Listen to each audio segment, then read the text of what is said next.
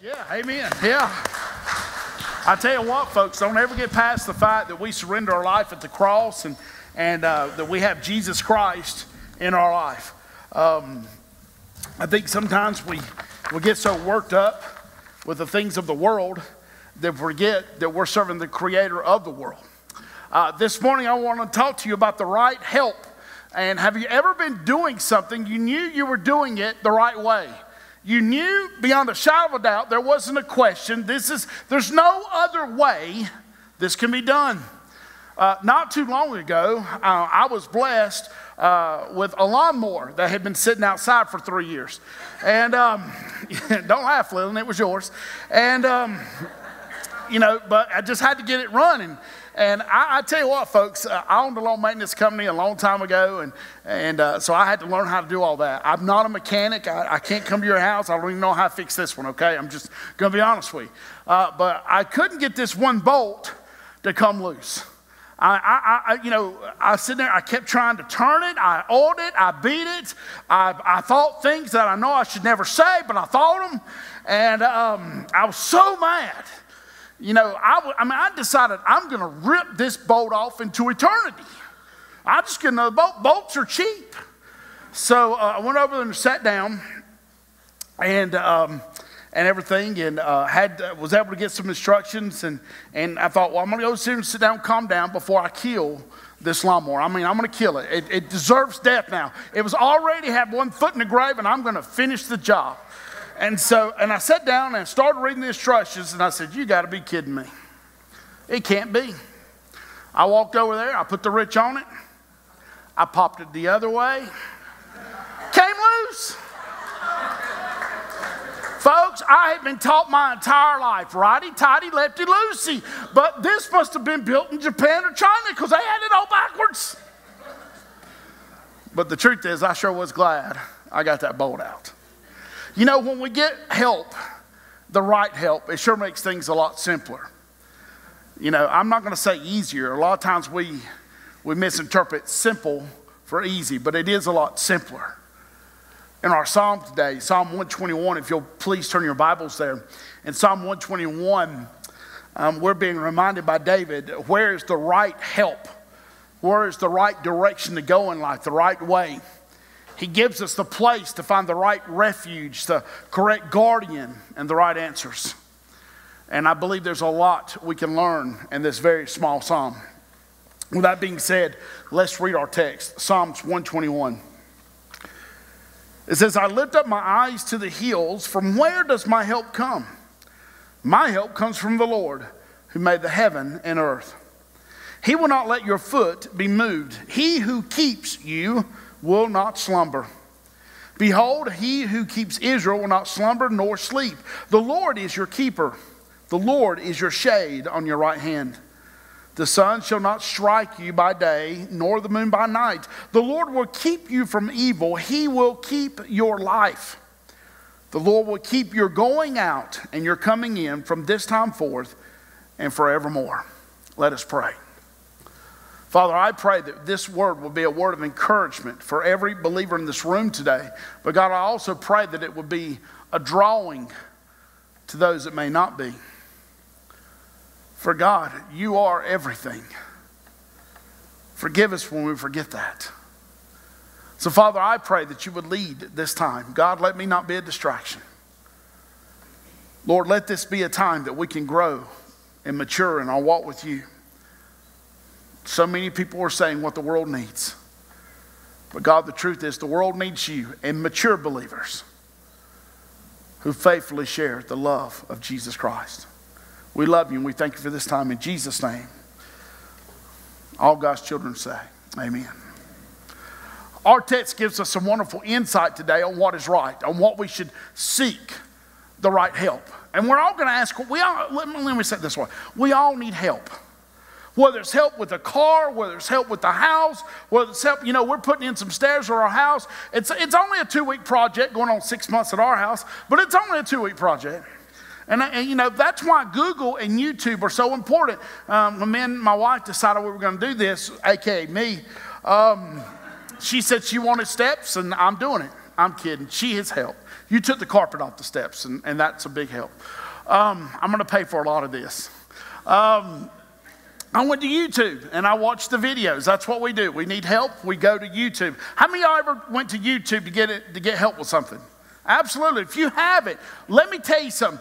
There's a lot of people in the world out there that wants to teach you how to do things, and they make their own YouTube. Some of them even have their own YouTube channels.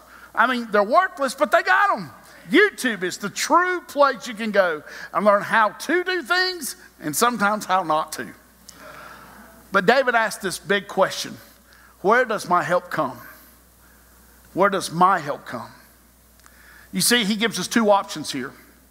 The first is the world. During this time, the culture was rampant with pagan religion, much like today.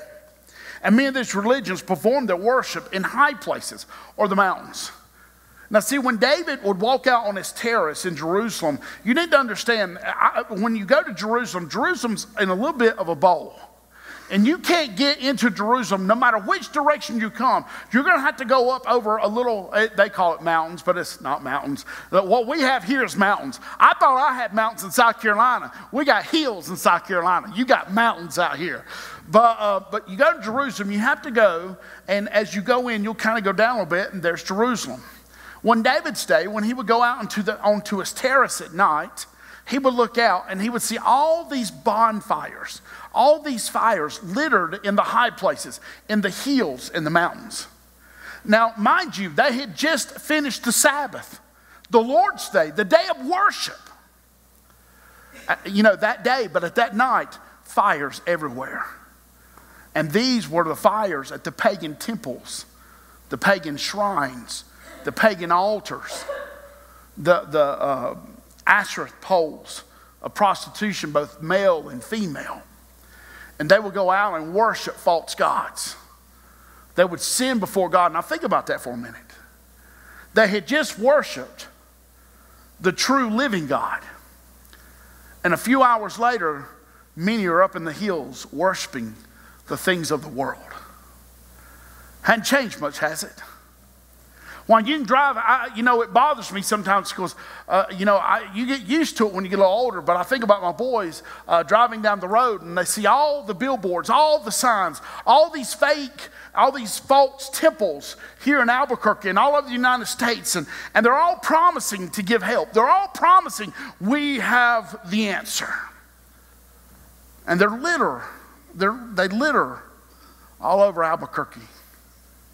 They're just everywhere. And then you get on TV and everyone's got the answer, you know? Why, I'm amazed at the answers you can get for $19.99.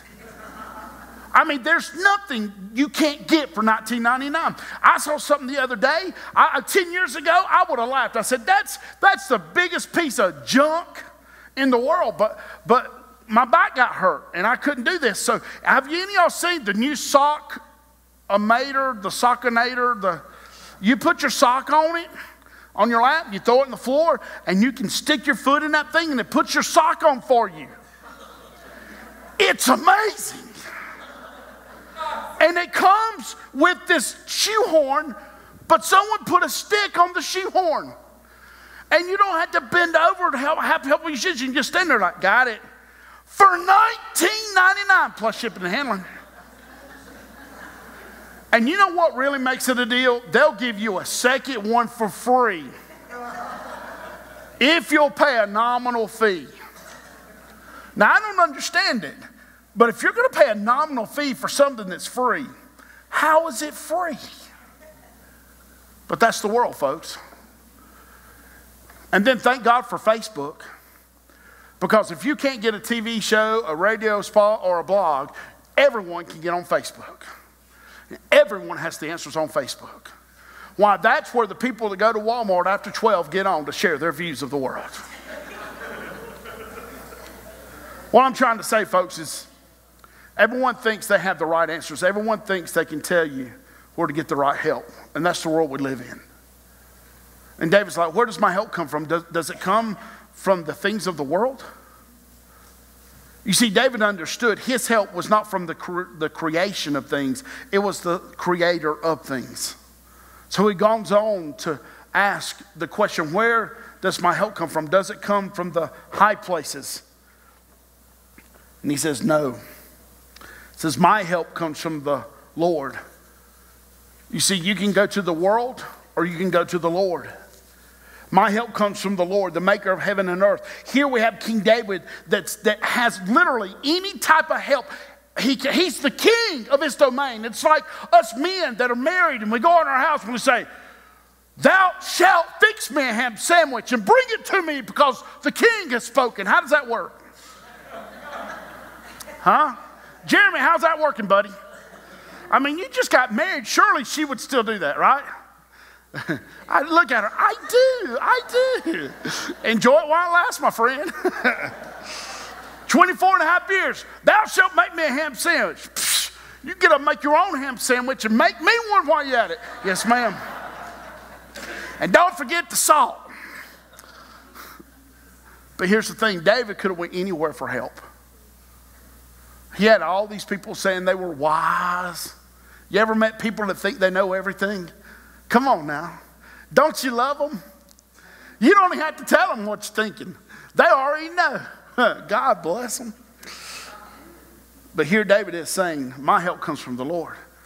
The last couple of weeks we've been talking about the unstoppable God. The same word here, Lord, that's used, that God, that uh, David's using for Lord, it's the same um, way it was used in the other text, meaning the self-existent one, the eternal one, um, the one of all time. David says, I get my help from the one that's always been here. I get my help from the matter of fact, he goes on to say, I get my help from the makers of heaven and earth. I go to the one that everyone else is running to the hills trying to get their answers. I go to the one that made the hills. I go to the one that made the mountains. You see, we, uh, David's making it very clear his choice is the one that can only give true help.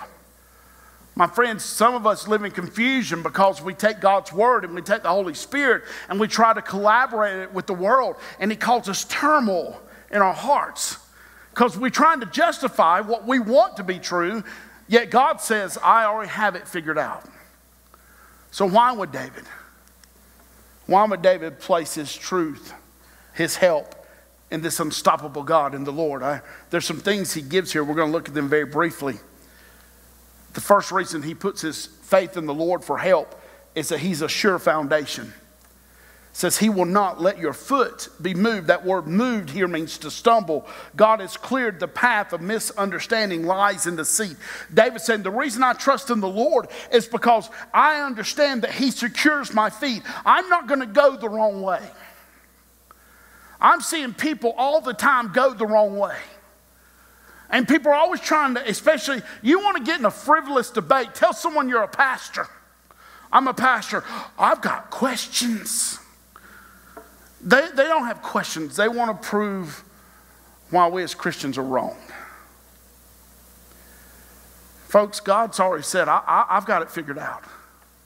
And if you'll follow the path, now it's not an easy path, but it is a simple path. It's the path that God's laid before us. And God's like saying, if you'll keep your feet on the path that I have laid before you, you won't stumble. I won't misguide you. You won't be misled. You have a foundation that is sure footed.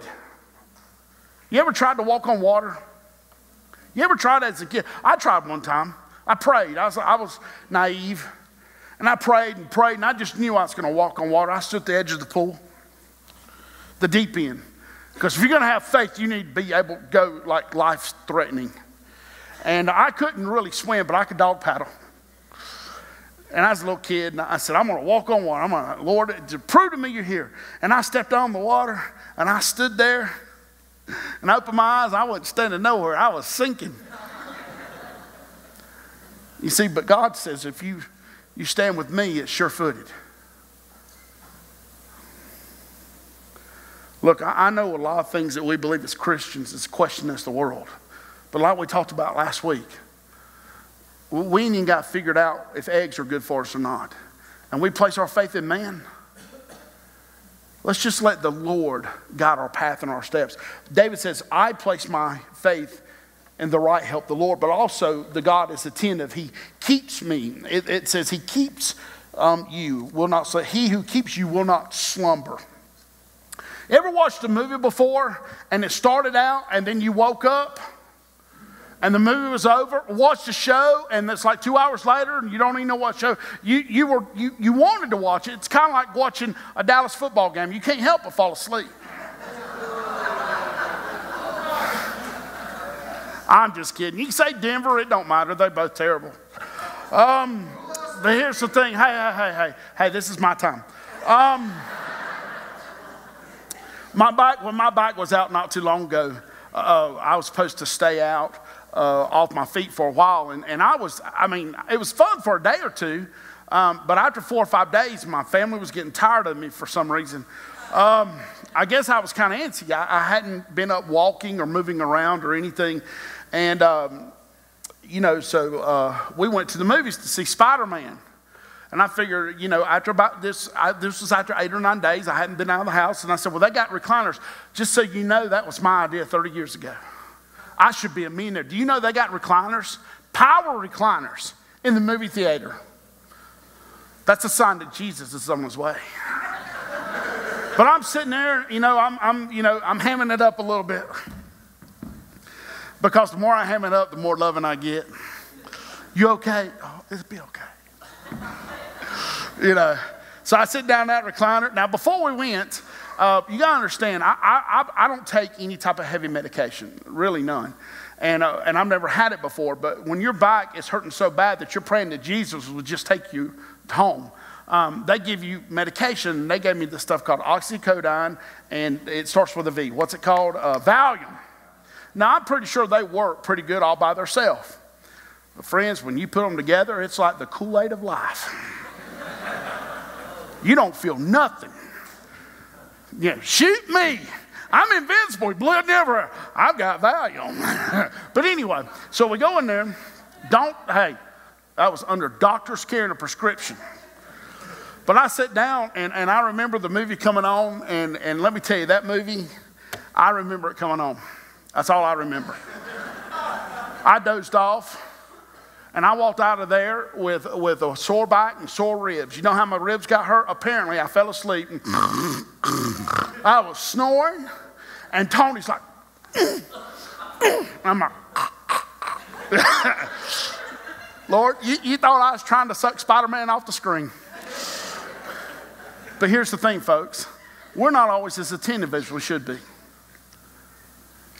And I've been funny, but let me be serious. God's never surprised by what's going on in your life. He's never surprised. He's not asleep at the wheel. You, he, God didn't wake up and look at your life and go, wow, I didn't see that coming. Wow, there's no gotcha moments with God. God's attentive. He knows where you are and what's going on in your life today. I want you to leave today encouraged knowing that God knows exactly where you are in life.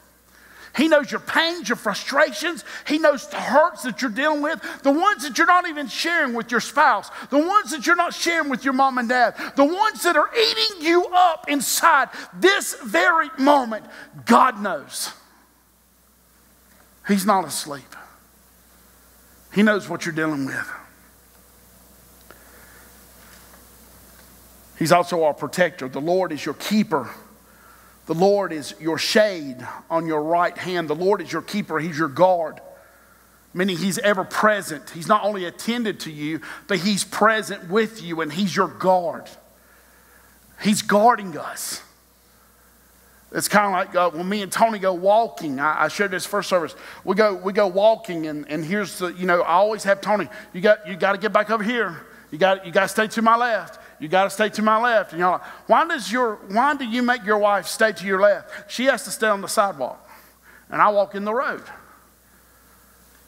Because if someone comes and hits somebody, they'll hit me, not her. She gets so mad uh, when I said, yeah, you're on left. What does it matter? I said, because you're my wife and I don't want no one to hurt you. And it's my job to protect you, even in our own neighborhood. Get on the sidewalk because I love you and I don't want to have to. Am I lying? A hundred times. Well, if you'd walk faster, well, you walk too fast. She's like, I'm just like, hey, steps are steps. But he's our protector, he's our guard. 2 Thessalonians 3 3, the Lord is faithful and he will strengthen you and protect you from the evil one. 2 Corinthians 4 8 and 9. We are hard pressed on every side, but not crushed. We are perplexed, but not in despair. We are persecuted, but not abandoned. We are struck down, but man, we are not destroyed. Every time I read those verses, I think of Rocky and Mickey. How many y'all ever watch Rocky movies?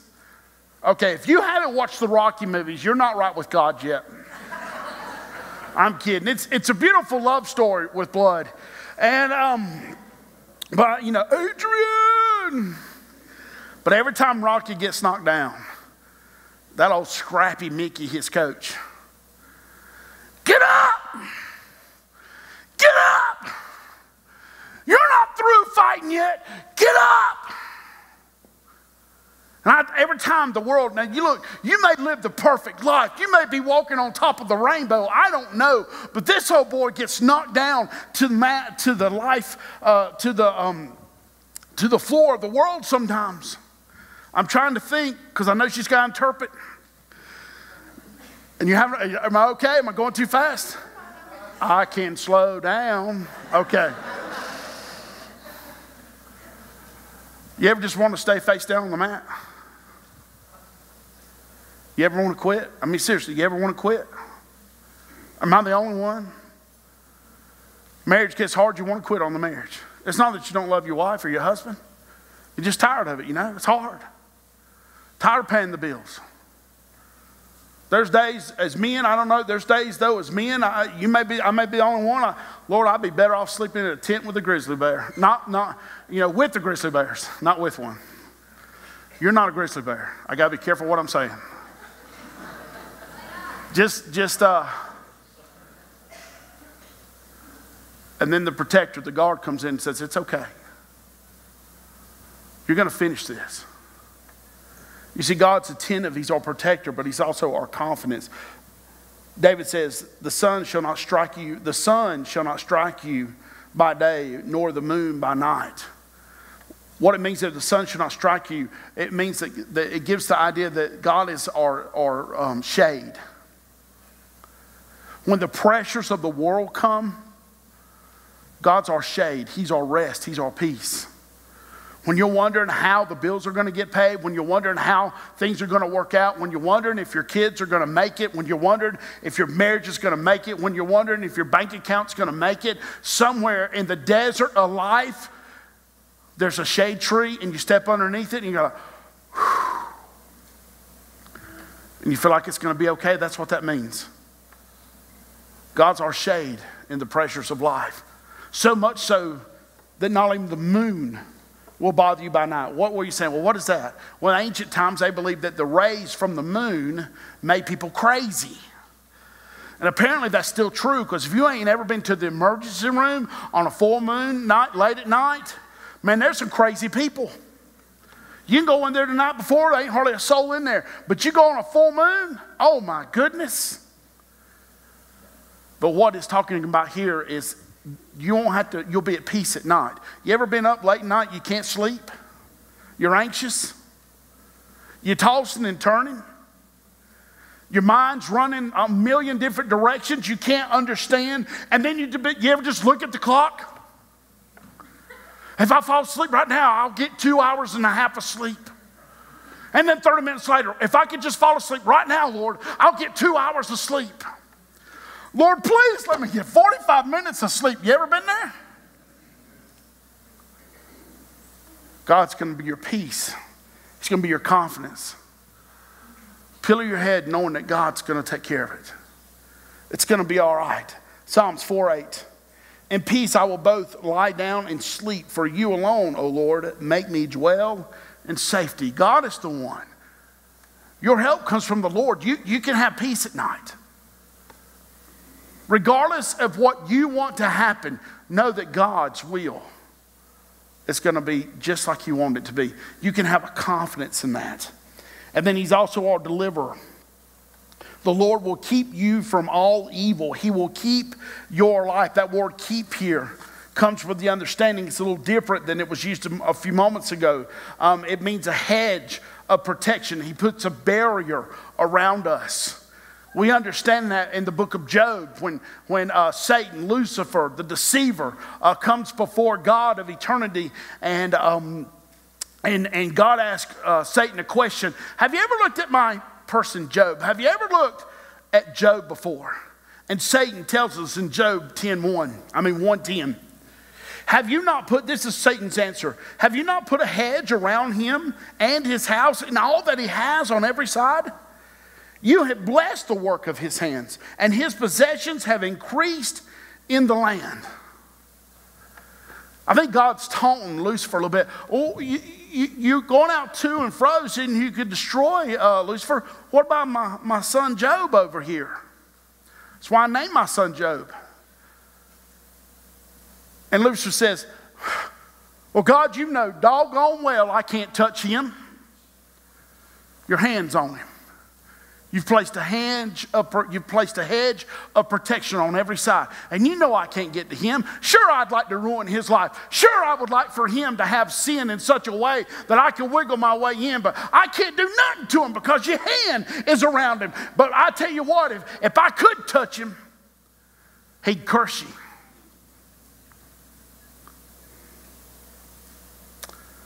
But Job didn't, did he? If you know the story.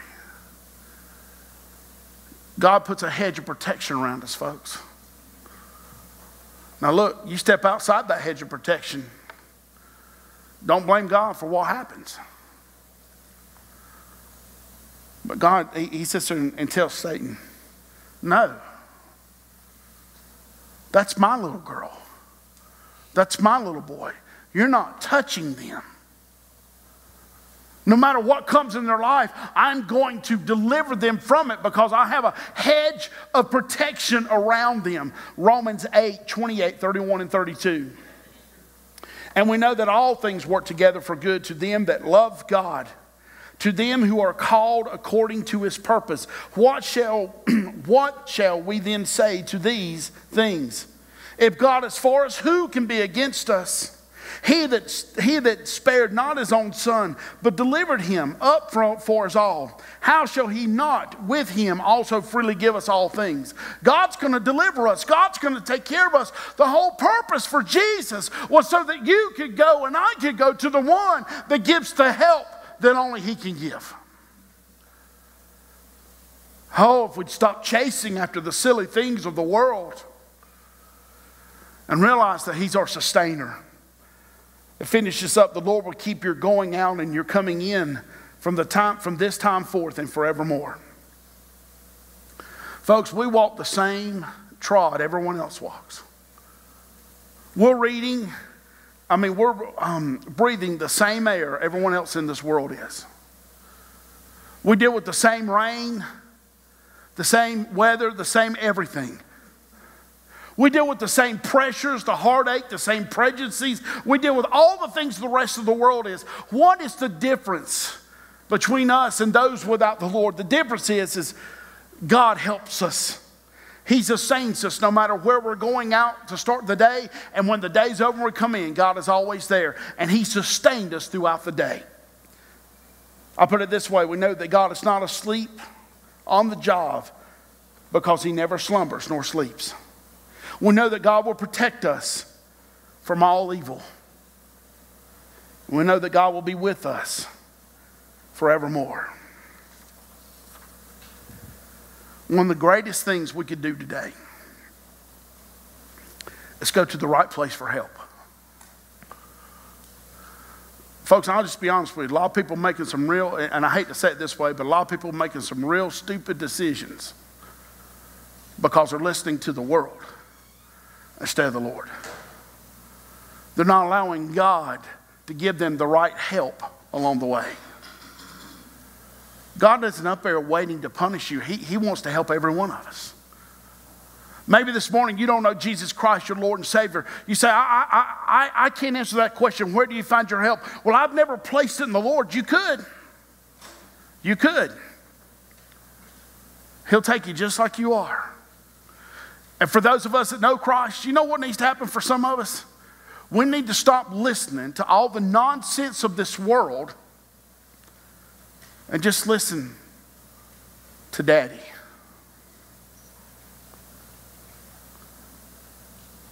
We understand that. My boys are young, they're impressionable. This old world's telling them a lot of things, and there's times I just tell them, so look, son, I've been there. If you would just listen to me, I could help you. If you would just pay attention and heed from my mistakes. But the great thing about God, He never had to make the mistake. He just understands where sin leads. And if we choose God as our helper, He'll take care of all the things we preached on today. Where do you find your help today? Honestly, now answer that seriously. Let's go, Lord, in prayer. Bow your heads.